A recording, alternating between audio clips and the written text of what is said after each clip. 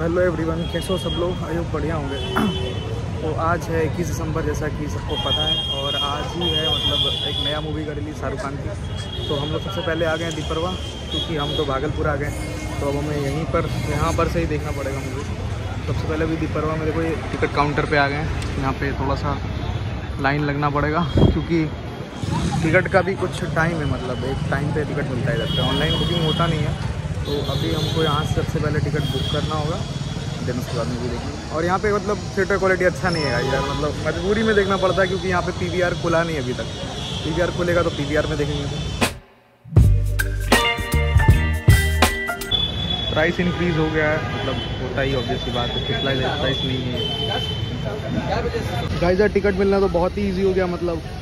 ये बहुत जल्दी मिल गया लाइन भी नहीं लगा हुआ इधर पे। लग रहा क्रेज़ ख़त्म हो गया, लग रहा है। और फिर लाइन लगेगा लेट पता नहीं इतना खाली क्यों है। पता नहीं क्यों बट यहाँ पे पूरा सन्नाटा है। सन्नाटा हो रखा है। शायद पी खुल गया ओपन हो गया तो मुझे पता नहीं चल रहा है। या फिर लोग आए नहीं देखने। बस यही दो पॉसिबिलिटी सबसे पहले चलते हैं ऊपर और देखते हैं।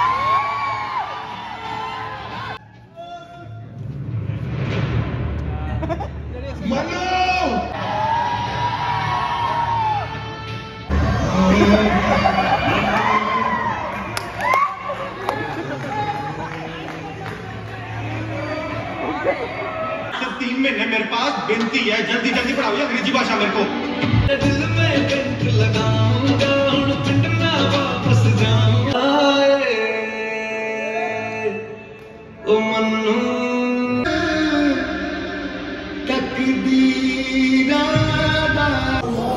गाइस अभी इंटरवल हुआ है और अभी तक तो मूवी ठीक ही लग रही है मतलब। थोड़ा सा फनी है और मतलब ठीक है। अभी तो इंटरवल हुआ है तो ठीक ही लग रहा है अभी तक और अभी भीड़ भी ज़्यादा यहाँ पे नहीं हुई है। अगर अभी मूवी शुरू होगा तो बताएँगे। फुल रिव्यू लास्ट में दे दूँगा। होने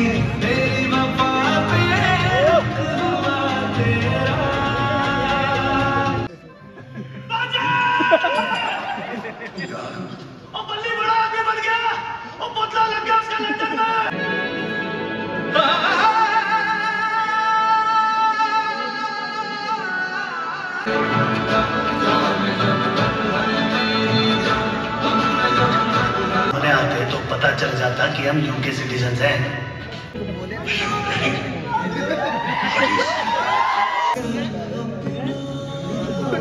तुम भी चले जाओ। भीड़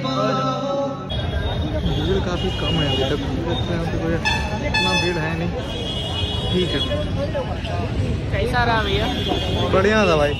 सो so, गाइज़ यार मैं अभी मूवी देख कर आया हूँ डंकी जो कि शाहरुख खान की मूवी है। तो मैं अगर अभी फुल रिव्यू दूँ ना मूवी का तो मूवी सच में बहुत ज़्यादा तगड़ी मूवी है, सच बोलो तो मैं।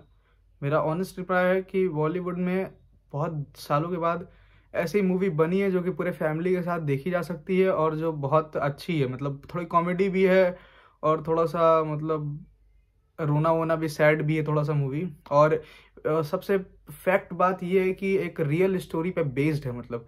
और उसमें मूवी के बाद दिखाया भी गया कि लाखों लोग हर साल डंकी प्रोसेस करने मतलब डंकी करके दूसरे देश में जाने में मर जाते हैं। बहुत सारे लोग हैं। मतलब मेरे भी जान पहचान में बहुत सारे हैं लोग जो कि जिनके बच्चे गए थे और वह मर गए, ख़त्म हो गए। मतलब मिले ही नहीं।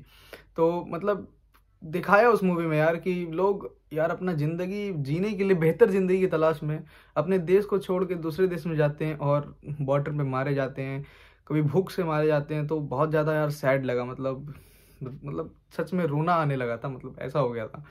तो मूवी बहुत तगड़ी है और मैं उनके लिए कहना चाहूँगा, वो बंदे जिन्हों जिनको ये मूवी सही नहीं लगी है तो मैं उसके लिए सिर्फ़ इतना ही कहना चाहूँगा कि भाई तुम्हें मूवी का टेस्ट नहीं है।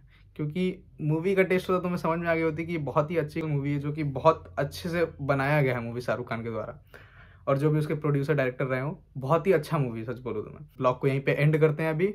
और मैं आपको रिकमेंड करूँगा कि मूवी जाके देखो, सच में। क्योंकि मूवी हम, मुझे बहुत अच्छी लगी है। तुम भी देखो, तुम्हें भी बहुत अच्छी लगेगी movie that's all for today thanks for watching